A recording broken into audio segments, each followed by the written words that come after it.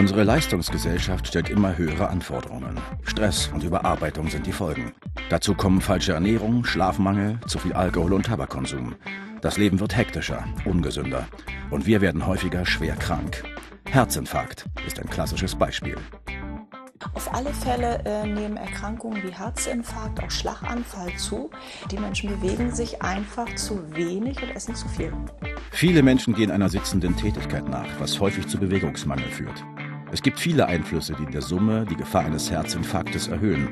Das Erkrankungsrisiko hängt altersunabhängig von unseren Lebensverhältnissen ab.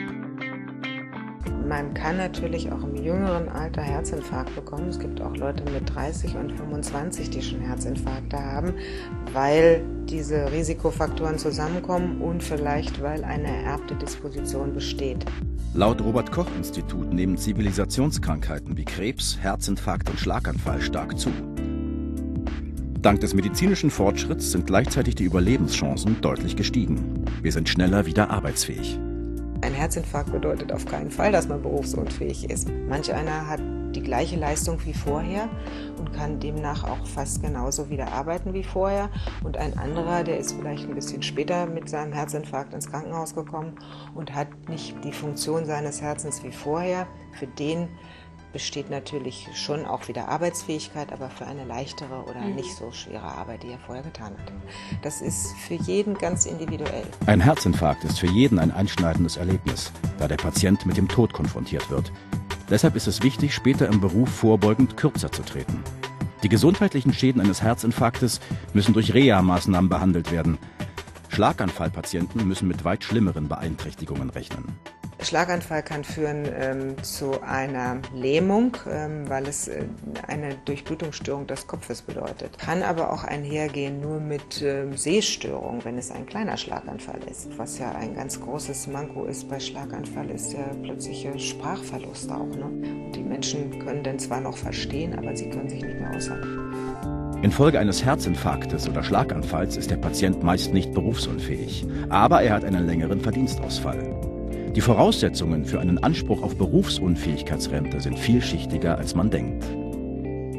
Bei der Berufsunfähigkeit ist es nicht automatisch so, dass eine schwere Krankheit ähm, einen Leistungsanspruch auslöst. Das heißt, wenn sich jemand nach einer schweren Krankheit alsbald und schnell erholt, was ihm ja zu wünschen ist, bedeutet es dann aber gleichzeitig, dass gegebenenfalls ein Versicherungsanspruch nicht gegeben sein kann. Oft sind die Betroffenen in der Beweislast.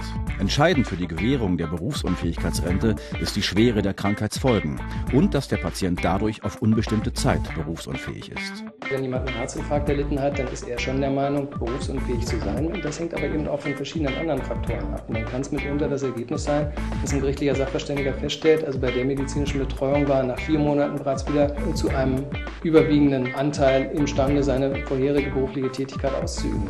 Des Weiteren ist es ja eben auch so, dass ähm, bestimmte schwere Krankheiten einen in seinem konkret ausgeübten Beruf berufsunfähig machen können, dass aber eben die Möglichkeit des Versicherers besteht, einen auf einen adäquaten anderen Beruf zu verweisen. Die Berufsunfähigkeitsversicherung greift also nicht immer. Häufig kommt es dann zu einer Klage.